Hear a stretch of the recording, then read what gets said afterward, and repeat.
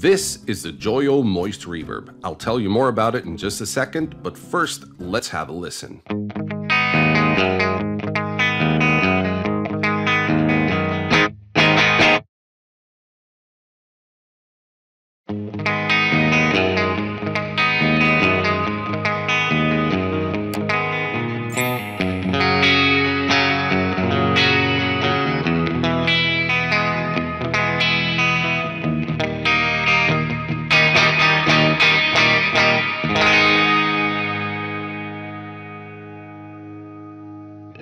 The Moist Reverb is a digital reverb pedal with three core reverb sounds studio, church, and plate. The Moist Reverb features a 32 bit DSP chip with Joyo's own algorithms. The pedal has three simple knobs mix, tone, and decay.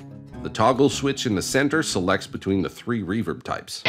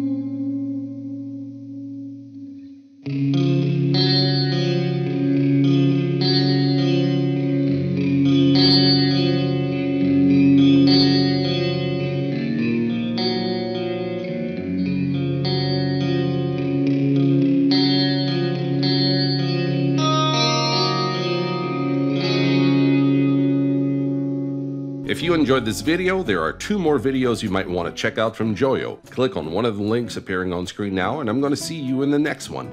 Cheers.